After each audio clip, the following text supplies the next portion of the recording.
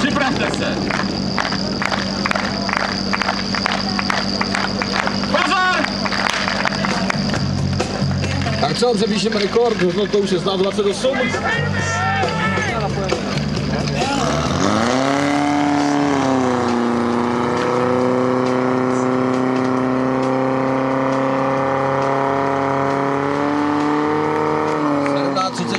se budeme muset spokojit, protože jsme časem 17.34.